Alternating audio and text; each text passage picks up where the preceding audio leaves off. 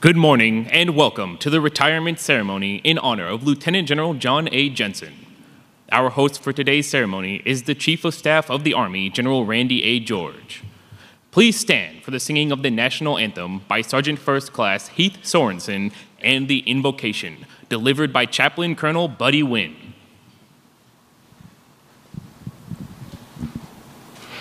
Oh, say, can you see by the dawn's early light what so proudly we hailed at the twilight's last gleaming? Whose broad stripes and bright stars through the perilous fight O'er the ramparts we watched were so gallantly streaming.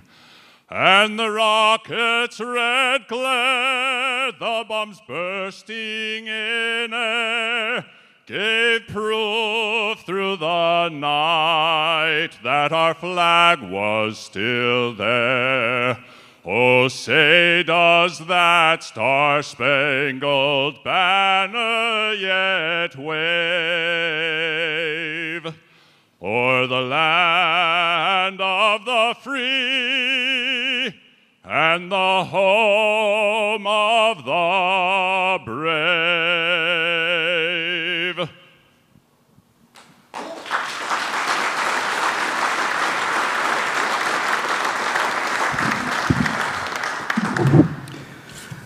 The prophet Jeremiah writes, For surely I know the plans I have for you, says the Lord plans for your welfare, not for harm, to give you a future with hope.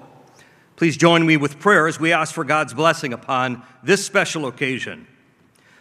Almighty and merciful God, the giver of all good gifts, we thank you today for Lieutenant General Jensen and for his more than four decades of leadership and selfless service to our nation and army. You endowed Lieutenant General Jensen with character and faith, a mighty intellect, and with leaders and mentors who forged the leader that stands with us today. You also blessed him with the true Army family to share in the rewards of this life. So we thank you for Cindy and publicly recognize her faithfulness and unwavering support to her husband, her family, our Army, and our nation.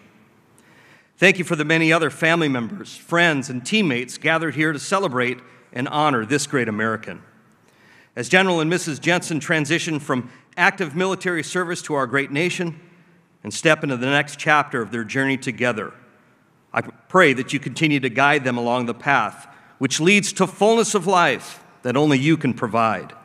As I think about the friendship that I've enjoyed with this wonderful couple, I'm filled with gratitude. I thank you for the privilege for serving a fantastic teammate, especially amid the challenges of the last several years. Lord of everlasting truth and grace, thank you for pouring down your blessings on your people. Continue to bless and empower our nation's and army's people as they prepare for war. May the lamp of liberty shine bright and be a beacon of hope and a model of freedom for people around the globe. Preserve our liberties and help us to be people of honor and character now and always. In your holy and matchless name, amen. Please be seated. Ladies and gentlemen, General George.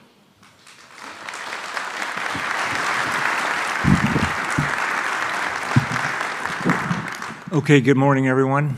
We got off to a, as a lifelong Chicago Bears fan, we got off to a really rough, really rough start here. Um, but it's great to great to see everybody today. I know we got a bunch of folks in. I would like uh, our tags or our former tags, if you could just stand up. Just want to recognize all those folks.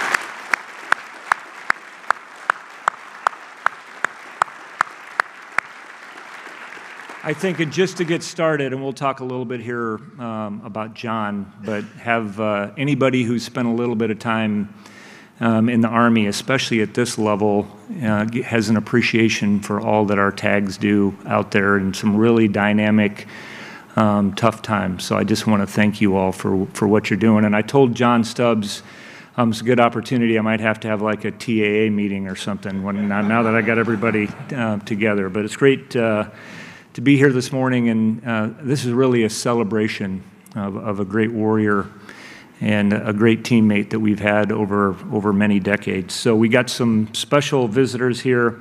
Um, the ambassador from Croatia, sir, great to have you here. If you haven't been to beaches in Croatia, I'm going to ask General Grass to stand up, our former National Guard Bureau. We got the vice, I would also mention, who is from Iowa and started and, and unfortunately, I won't repeat that, but um, and served in the Iowa. I think his first assignment as a soldier was in the Iowa National Guard. The DAS, unfortunately, has not been in the Iowa National Guard, but she's up here joining us. Um, we have our, uh, our teammates from Kosovo. I'm going to ask uh, um, General if I could have you and your Sergeant Major stand up. State partners from Iowa.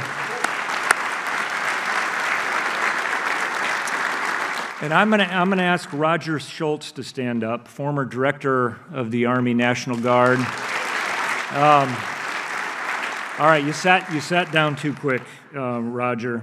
Uh, this Roger was the guy many, many, many years ago. I don't know if I got enough many in there. Um, who convinced Jon to go to OCS back in the day. So, sir, thank you for doing that. That's, that's what I call talent management, figuring it out way back then. So, um, like I said, great day. There's a lot really to celebrate. I know the retirements sometimes are, are bittersweet. And I'd like to start off today with something a little controversial. I was going to do that, and of course, then we had the Skol chant.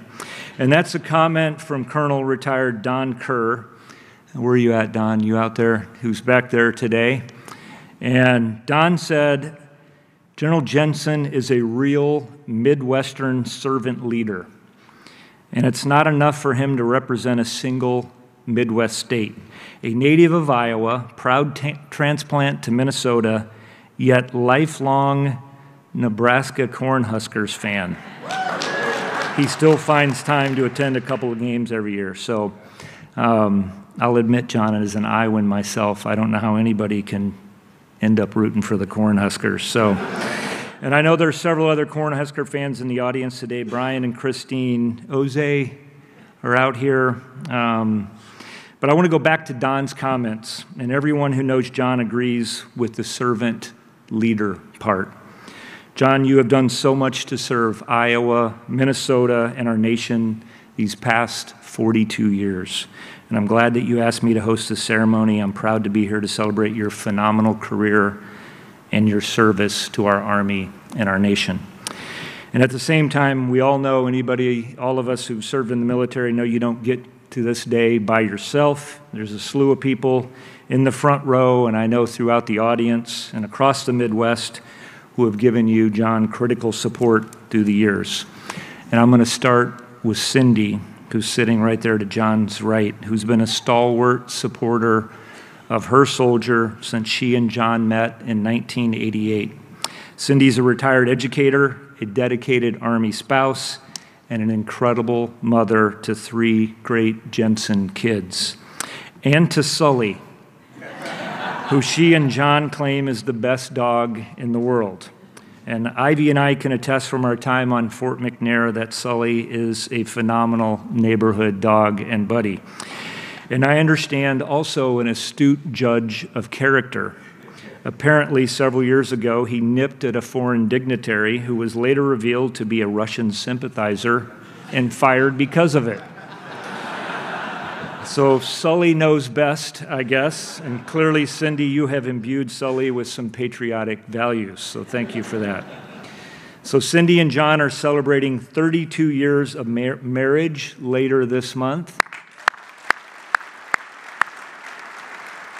which is an incredible accomplishment. And I know that Jon will probably buy you some crab legs from the wharf or something else that's expensive over there, but he'll have a whole bunch of time here with you uh, shortly. Cindy and Jon have raised three impressive kids, two of which are here today with us. Their son Jake, who's a product manager at a precision metal manufacturing company in Minnesota. and their daughter Atlee, who I know Patty and I know well, and Ivy, who lives here in DC and owns her own dog training company. And maybe that's where Sully got some of his discerning taste as well. And unfortunately, their daughter Keely couldn't be here, but she has a pretty good excuse. Today is her first day of medical school back in Iowa. And I got, a, I got a special task. I'm looking at the Surgeon General, and I know, um, Jon, we got some work to do to convince Keely to become an Army doc, but I'm hoping once that first tuition check comes due in December, that she may think about us a little bit more. So, um, and I know uh, for all your kids, your three kids, you guys are extremely proud of them. Also, here's Jon's mom, Diane, who's been, I just found out this morning, every promotion um, since major. And uh, I'm going to break with a little bit. I know this wasn't part of it. Maybe offer her the mic. that was the only thing he told me when I met with him beforehand. As long as you don't let my mom, don't. I'm not even worried about my fraternity brothers. Don't let my mom get up here. But I appreciate, ma'am, appreciate you making the trek all the way out uh, from Iowa. I know there's no simple way to get to D.C. from Council Bluffs, haven't been out that way. Um, Jon's dad, Roger, couldn't make it, but Roger has been a role model for Jon his whole life. He also served in the Iowa Army National Guard and 1st Battalion, 194th Field Artillery, the Vice's old unit. Um, small world. And I know there's a team of other family members here as well, quite a few Uh, of whom are from Papillon? Papillion. In the, in the Midwest, we pronounce things just how they're written, so, which is just across the border from Council Bluffs. Jon's sister Beth is here. Hello, Beth. Jon's brother Jim and his wife Brenda, right here in second row. Cindy's sister Kathy and her husband Mike, also from Nebraska. That's why when I walked by and said, Who's from Iowa, I didn't get a very warm reception over there. And Cindy's brother Jeff from Kansas City, Missouri. And I know there's several nieces and nephews from all over the country. And then I also know there's some fraternity brothers here from Northwest Missouri State. Where are those guys at? I want to talk to you guys afterwards, right there. all right. I know you got some stories. So, uh, all of you, even the Cornhusker fans, thank you for being here. Um, I like to say the Army's a team sport, and I know every one of you contributed to Jon and Cindy's success and journey um, throughout their many years in the Army. Um, Jon has had an incredible career. I think everybody knows that. He enlisted in the Iowa National Guard right out of high school in 1982 as a medic.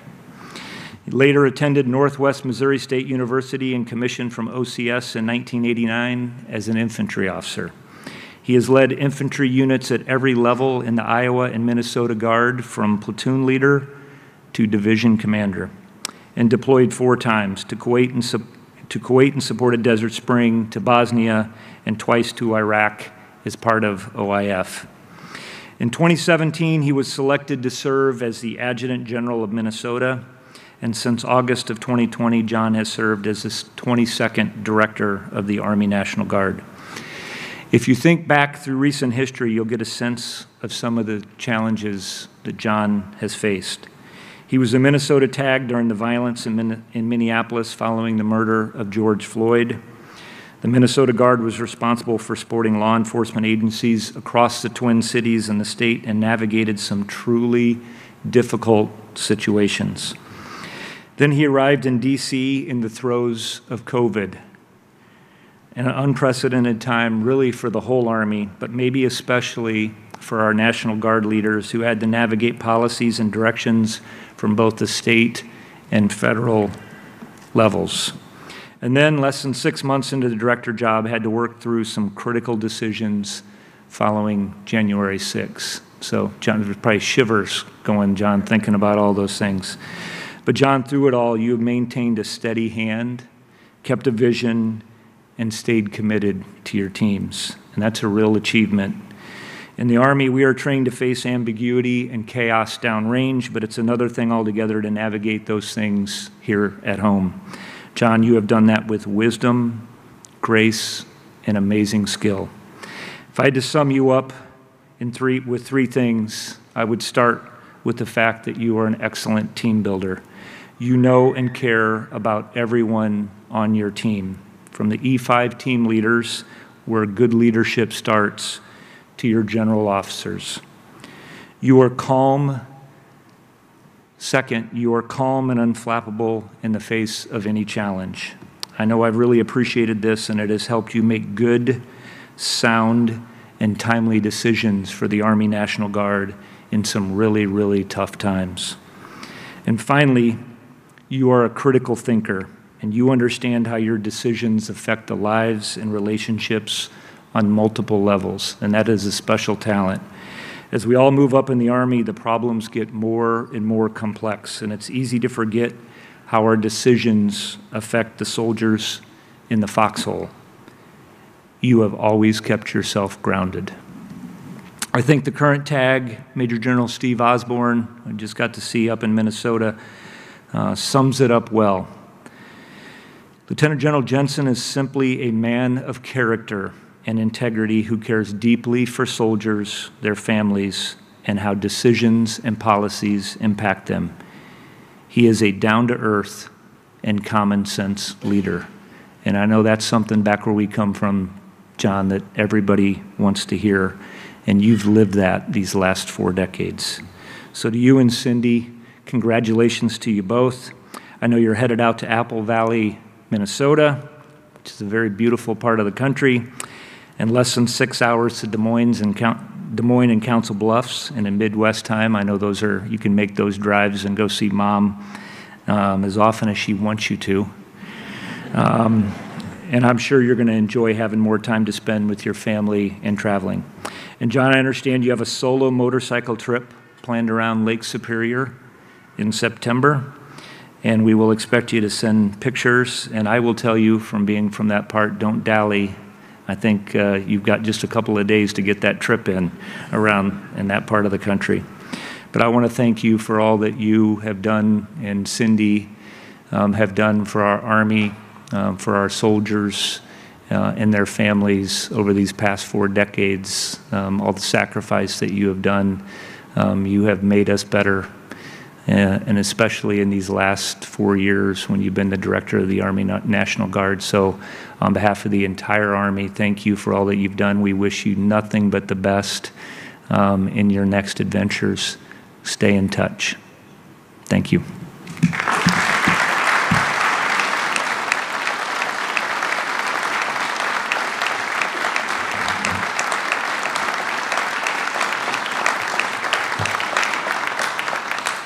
Would Mrs. Jensen join General George and Lieutenant General Jensen in front of the flags.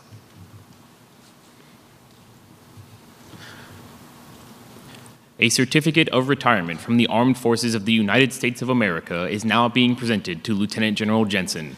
The certificate reads, this is to certify that Lieutenant General Jon A. Jensen, having served faithfully and honorably, is retired from the United States Army. Signed, Randy A. George, Chief of Staff of the Army.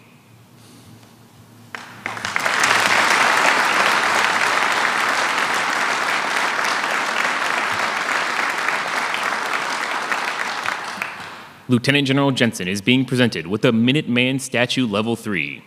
The citation reads Lieutenant General Jon Jensen distinguished himself through over 35 years of, the, of exceptionally meritorious service, serving in various capacities and culminating a distinguished career as the 22nd Director of the Army National Guard. Lieutenant General Jon Jensen's steadfast advocacy Strategic leadership and unwavering commitment ensured the Army National Guard always stood ready to serve local communities and the nation during the most unprecedented times of global war and pandemic, periods of civil unrest, and natural disasters. His dynamic leadership, professionalism, and commitment to the Army National Guard ensured excellence was woven into the fabric of the organization from the individual, unit, state, and national levels. Lieutenant General Jensen's integration into Army senior leader priorities was critical in synchronizing the organization's priorities and facilitating actionable solutions as a total Army partner that proved critical in advancing the Army National Guard's abilities to meet and exceed the increasing demands at both state and national levels. Lieutenant General Jensen's unwavering support and service to the Army National Guard is in keeping with the finest traditions of military service and reflects great credit upon himself, the Army National Guard, and the United States Army.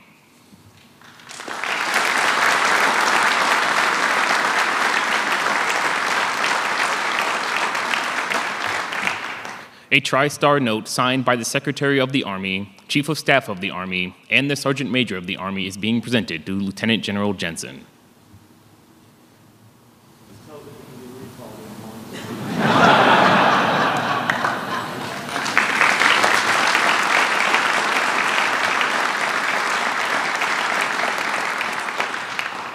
A certificate of appreciation is now being presented to Mrs. Jensen. The certificate reads, this is to certify that Cindy Jensen, on the occasion of the retirement of your spouse from the United States Army, has earned grateful appreciation for your own unselfish, faithful, and devoted service. Your unfailing support and understanding helped to make possible your spouse's lasting contribution to the nation. Signed, Randy A. George, Chief of Staff of the Army.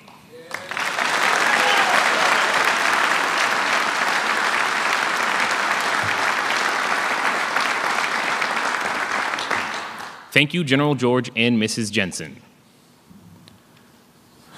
Ladies and gentlemen, Lieutenant General Jon A. Jensen, United States Army, retired.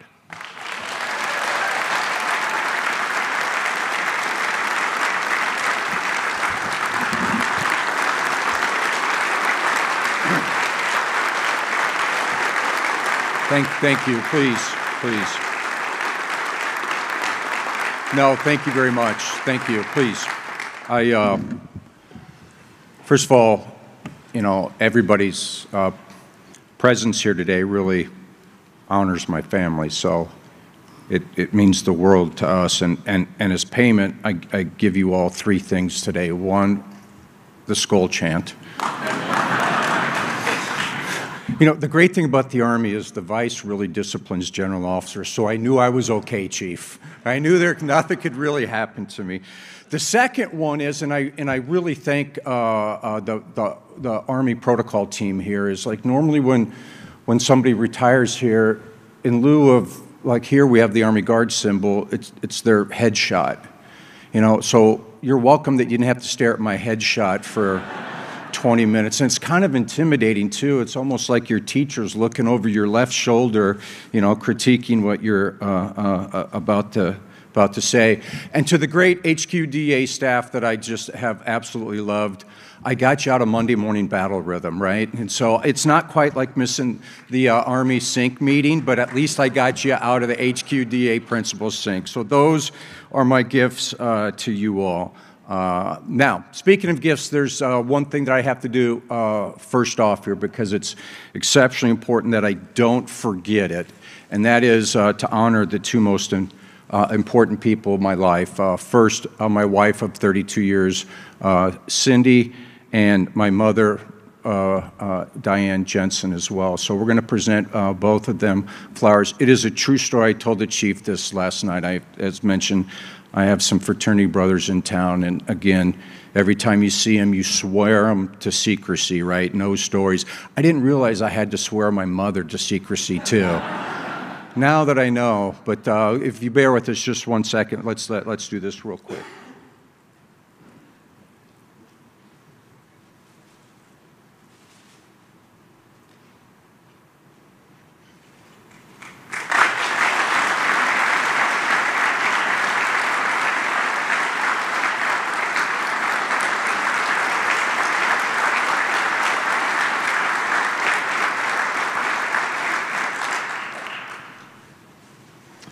Okay, that I can go home with Cindy not only tonight, but when we move back to Minnesota as well.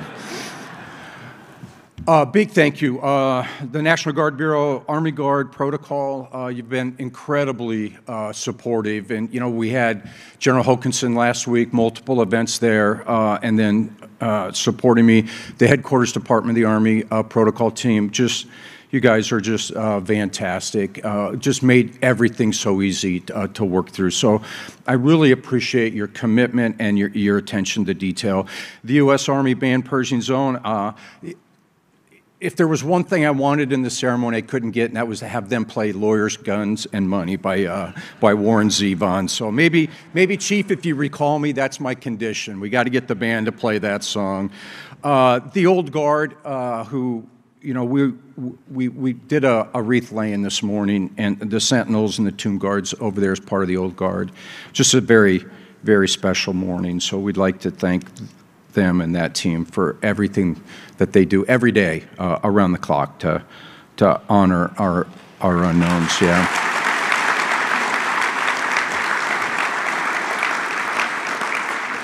To the chief and Patty George, uh, you have been so flexible and accommodating. I really appreciate it, Chief. Thank you very much for that. Um, you know, if Private E1 Jon Jensen in November of 1992 would have been told that 41 plus years later he would uh, retire and the Chief of Staff of the Army would officiate his retirement ceremony and the Chief of Staff of the Army would be from Iowa. I, of course, would have said, What's the Chief of Staff of the Army, right?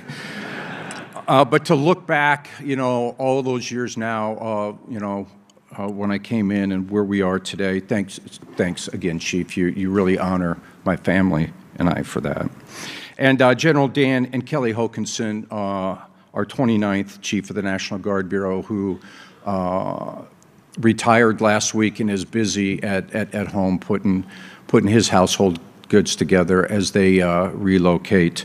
Uh, we're going to see him later today as we we have a, another ceremony later today that we'll talk about in a, in a, in a little bit.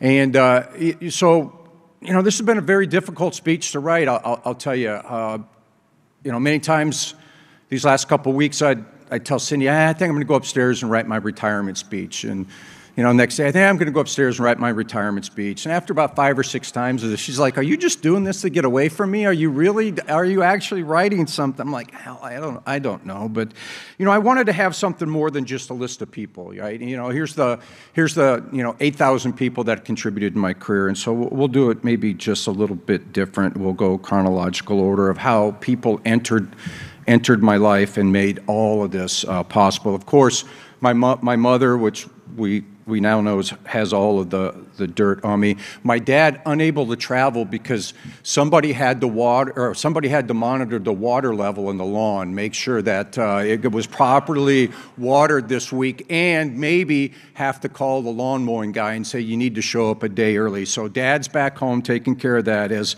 as he should. Uh, my oldest brother Jay, a U.S. Uh, Air Force uh, veteran isn't with us today, but uh, my, my just sincere appreciation to him. I could never beat him up, so I learned how to out-talk him. And so I think that's been part of my success. I could uh, out-talk people maybe. Uh, my sister Beth, who, who is here, who has committed her life to the medical profession and has just given back to so many people at so many different levels during her medical career. And then Jim and, and his wonderful wife Brenda, both of them uh, Air Force uh, veterans as well. And so, you know, we all know this. Nobody knows you better than your siblings because they really know you. I mean, you can you can lie to your mom and dad, but you can't lie to your siblings. And so they have been nothing but. Uh, but the most supportive siblings through this 40 some years of, of, of career, uh, even the two Air Force guys. Uh, I remember remember when I, oh, no, I'm not going to say that. I was going to say, my bro, I'll just say it. Uh,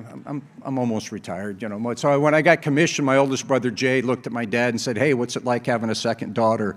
And uh, that's what I've had to live with because I was always outnumbered two to one, right? And uh, so, you know, we were all kind of NCOs together. And when I left being an NCO, I, I was no, part, no longer part of the cool club uh, at, at all. Uh, six tremendous uh, fraternity brothers have, have joined me uh, this weekend and really represent uh, just a tremendous uh, influence on my life. 40 some years ago, uh, I, got a, I was handed a card that said, Phi Sig will make me a better man. And it's true. Um, the men of 940 College Avenue have influenced my life and my family in, in many, many ways, you know, uh, b- beyond anything that I, you know, ever really thought. You know, I was one of those guys that after about two weeks of college realized that the coolest gig a guy could get in 1982 was being a college student. All I had to do was stay academically eligible and somehow be able to finance uh, school. I marginally did the first, and the only reason why I was able to do the second was because I made a decision along with two other friends to join the Iowa Army National Guard.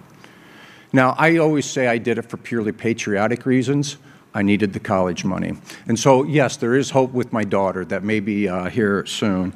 And so, in, in November of 1982, I was enlisted as a combat medic in HHC, 1st Battalion, 168th uh, Infantry, who, interesting enough, three, three former battalion commanders uh, of that uh, great battalion there. Steve Osborn, who was, uh, who's the current Adjutant General of Iowa, is here today. Matt Murphy. Uh, if you ever hear me tell a story, and my story starts with this, the best battalion commander I ever served with, and then I will tell the story, it's always about Matt Murphy. He, without a doubt, was the best battalion commander I ever served with. And then this guy named Roger Schultz, who was the battalion commander when I was E1, PV1 Jon Jensen, Lieutenant Colonel Roger Schultz, uh, who later was my brigade commander when I was a, a, lieutenant and a company commander, and who later became the director of the Army Guard, uh, 1998 to 2005, I believe, uh, was literally has been with me from my, my first day as a, as a soldier. And when I became the director out here, was, was somebody that not only did I know I could call, but I called, uh, as I had many times in my career. And I, I, would bring him over for lunch, and we'd just sit and I, we'd just talk. And he'd, he'd tell me, and he, he, he, he doesn't give you advice, he just talks to you. And then, and then he leaves, and you know what you're supposed to do. And so uh, we're going to take a photograph here in a little bit, uh, sir, and I'm just incredibly proud. So I joined this battalion, 168th Infantry, proud, proud infantry uh, battalion. Uh, fought in the Spanish-American War in the Philippines, southwest border, chasing Pancho Villa. Uh, mobilized, deployed as World War I, but they, they actually fought with the 42nd uh, Rainbow Division under General MacArthur when they brought uh, Guard regiments from throughout the nation to, to, to unite the United States because we weren't that far past the Civil War. So in a way to unify the Army, uh, regiments from throughout the country, uh, John Andonie from that proud division is here today.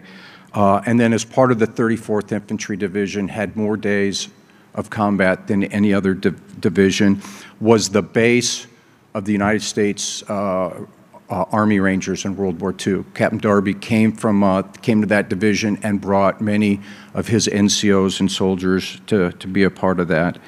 Uh, and so that's where I learned how to be a soldier. That's where I learned how to be an NCO, and that's where I learned to be a company grade officer. And the truth of the story is General Schultz didn't really convince me to go, go to OCS. Um, he wanted me to be a recruiter, and I knew that was probably the dumbest idea for Jon Jensen in the world. And I was just looking for a way to get out of becoming a recruiter. And I remember telling him, I was like, Sir, I know how this is going to work, right? I'm not going to be very successful. You know, the organization's going to get mad at me, and at some point they're going to fire me, and then I'm going to hate the Guard, and I don't want to hate the Guard. I like the Guard, so I can't be a recruiter. And without blinking and I. he said, Great, we're going to send you to OCS then, right, Jon? I was like, oh, All right, sir, yeah, okay. I was like, Anything to get out of this.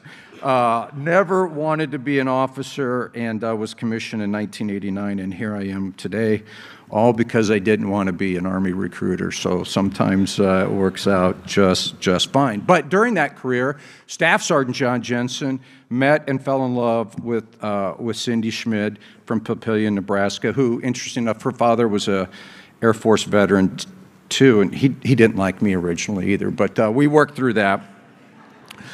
Uh, but his dad, Al, and, and uh, her just beautiful mother, uh, Dottie were just always, always supportive of, of what we were doing. And uh, uh, her oldest brother Jeff, her sister Kathy, and her youngest brother Rob, and their families just are, remain such a big part of, of our family. And Jeff and Kathy are, are, are out here this weekend, and we really, really appreciate that. But Cindy and I got married. I just had gotten promoted to first lieutenant. So she started dating a staff sergeant, married a first lieutenant. That's about the time when my future father in law started liking me, was about that point.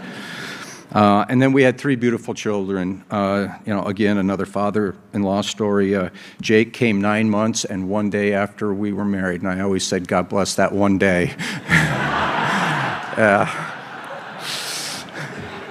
and then uh, Atlee and Keeley, who just are just so beautiful, and we are we are just so blessed with those three kids. Uh, because I'll tell you, they are um, most importantly, you know, uh, us kids, uh, my siblings and I, uh, the way that my mom and dad raised, raised us was the golden rule. It's the golden rule. You got treated the way you treated other people, and if you were a good kid, you got treated like a good kid. If, if you were something less than a good kid, you got treated something less than that.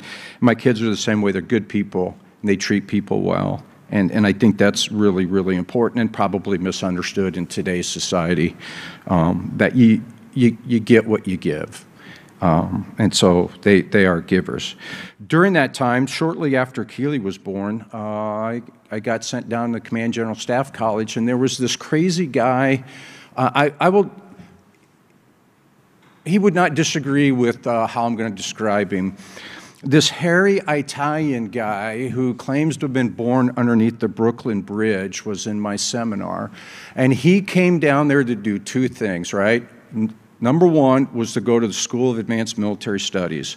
Number two was to recruit the best group of scotch drinkers he could so he could his second year at leavenworth he had people he could hang out with uh, Tony DeMartino is his name. Many of you uh, know him. He's still uh, in the area uh, here.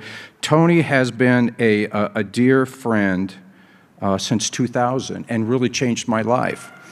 I wasn't that interested in going to SAMS, I was really interested in hanging out with him for another year and drinking scotch.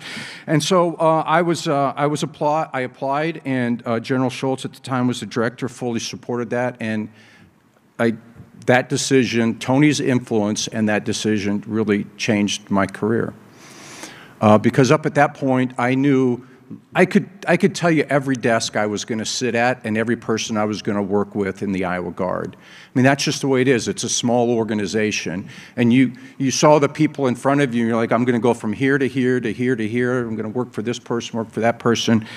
Uh, and it, it, not that that's bad, but it was just something that I wanted something a little bit different. And because of my selection to SAMS, and, and uh, you know, I had to go do um, my utilization tour at, at, a division. And of course, the 34th Infantry Division in Minnesota, our parent division, I, I went. And there, uh, he was mentioned earlier today, my first boss, Don Kerr, who was the Division G3 as I came in as the Division Chief of Plans back, you know, when it was hard being a, a Chief of Plans of the division because you were a major, not a lieutenant colonel, right? And uh, Don was my first boss there and uh, just treated me exceptionally well, worked for him uh, multiple times but it was my first exposure to general officers, right? My entire career up to that point had been at the battalion level and below.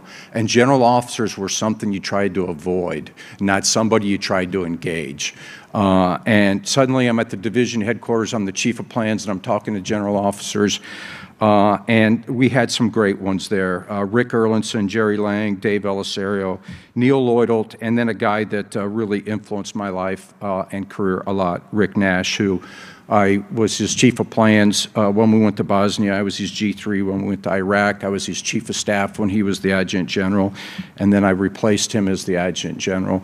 And I remember one time he wrote on my uh, OER as the, as the senior rater, you know, future director of the Army Guard. And, and I just remember laughing inside, going, yeah, there's no way I'm ever going to be the director of the Army Guard. But because of that decision and because of that movement, I got the opportunity to command a great battalion, a great brigade, had division command, and become an adjutant general. And so our adjutant generals that are here today, um, first, I being an adjutant general with you, and then later working with you as the director, uh, I just it's just amazing. It's just amazing what we ask you to do and what you do. Some of you, in addition to being responsible for the readiness of your Army force and your Air Force in your state, also run your Veterans Affairs Department. Some of you uh, also run the Emergency Management Department of your state, and some of you do all three of those jobs. It, it, is, a, it is a very unique, only to the American military uh, position that, quite frankly, can't be understood unless you do it. I was Rick Nash's chief of staff for six and a half years. I thought I knew what being an adjutant general was. I was literally you know, within bayonet distance of his office for six and a half years. I didn't know what it was until I became a tag. And then great adjutant generals like Jim Hoyer, uh, who's here today, uh, you know, mentored me, coached me, helped me become successful and understand what our job uh, is there. And then I was uh, somehow, uh, I'll tell you at first, I wouldn't tell you blessed to be picked as the director of the Army Guard. Uh, I was, I was kind of, well, Joe Lengyel was the chief of the National Guard Bureau, and one day in a meeting, he purposely made eye contact with me and gave me the old, you know, head nod. And out in the hallway, I was with him, and and uh, he, you know, he he played to. I have I have several weaknesses, but one of them is truly Catholic guilt weakness, and he played to my Catholic guilt. Hey, Jon, I I heard you were going to apply to be the director. And I was like, oh, no, Chief, those words have never crossed my lips ever. I don't know what your intel, uh, who's giving you your intel, but they're wrong. And he just shook his head and kind of put his eyes down a little bit, said, I'm disappointed. And I was like, oh, no, you can't play the disappointment card. But he did, and I applied, and, and uh, because of uh, General McConville and Secretary McCarthy, uh, I ended up getting the job. And, and, I'll talk more about that later today. Uh, and, and, because later today, we get to bring in uh, my replacement, the great John Stubbs from Arkansas here, and honor him and his family. Jane's with him here today. And I, I am so looking forward to that, uh, to honor you, John, and what you're going to do next. Hey, to the HQDA team, uh, Das, you and Walt Piatt before me. Um, one, of, one of my biggest honors, I will tell you, is being able to serve on that staff and work that and support, uh, support the Army. The best Army is when all three compos are the healthiest right? It's not Compo 1 versus Compo 2, Compo 2 versus Compo 3 or anything that, it's when the whole Army is, is together working uh, the same direction. And I had four years of that as the director. First under General McConville, now under uh, General George, uh, under Walt Piatt, now Laura Potter. Uh, that we all go to, to work every single day trying to get to that. Uh, and there are a thousand challenges out there, a million challenges. You can't knock them all down. And it's all uh, uh, about risk. Where you taking risk? Where you assuming risk? Those type of things. But it's just been, Das, it's been a pleasure uh, being on your staff, being on Walt's staff. Uh, Jody Daniels, who we just uh, retired as the chief of uh, the Army Reserve last week, was a was another another great teammate. And so, lastly, I'll tell you this. Um, you know, it's not lost on me that I, I am. I've been very, very lucky uh, to to be here, to stand here today and have an event like this, you know, to, to achieve retirement, have the Chief of Staff of the Army um, officiate your retirement ceremony. It's because it's not lost on me, right? That whether through the actions of the enemy, a tragic accident, or an illness, not everybody who deserves this gets here like I have today. And um, when you reflect back on that and those people that we've all lost along the way, who were better than us, smarter than us, more talented than us, but for whatever reason don't get this opportunity, I just, again, want to say that you, you honor my family today by being here, and I, I deeply appreciate that. So today and going forward, this will defend, always ready, always there attack, attack, attack. Thank you.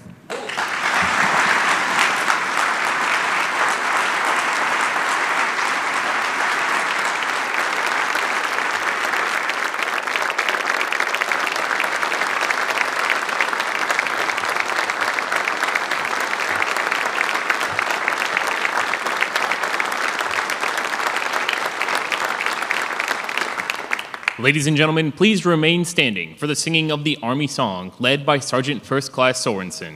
The words to the Army song will be displayed on the screen.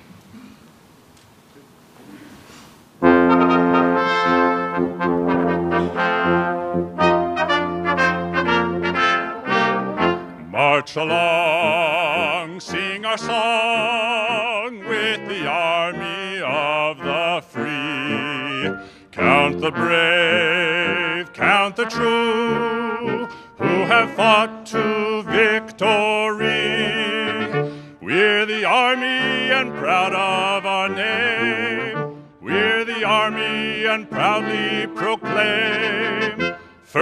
fight for the right and to build the nation's might, and the army goes rolling along. Proud of all we have done, fighting till the battle's won, and the army goes rolling along. Then it's high, high, hey, the army's on its way.